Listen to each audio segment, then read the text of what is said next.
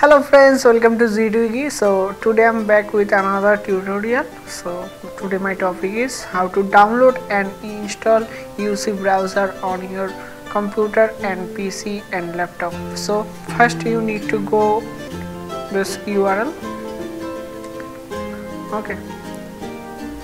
And there you can see this download option. So just click on there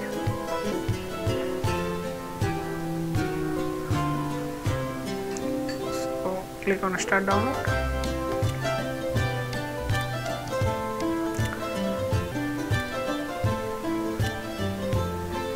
So my download is now complete.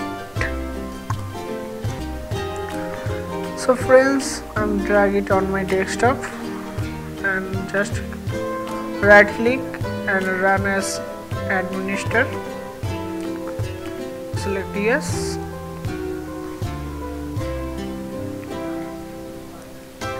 and click on I have read and I got to UC browser terms of service. You can click on here for read all terms from UC browser and then check on and click on install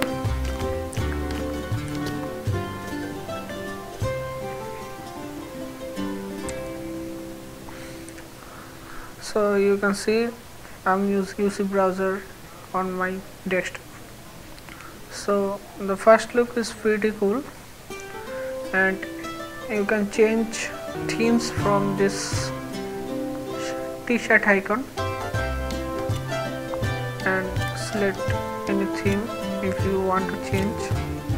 So I'm changing to this theme mint. So please take some few minutes just wait. So this thing also awesome.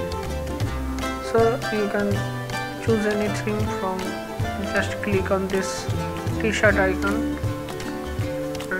You can choose anything from there. And this download link in description below. So i hope you like this video and if you like to watch more videos from ZeetWiki then click on subscribe button. So thanks for watching ZeetWiki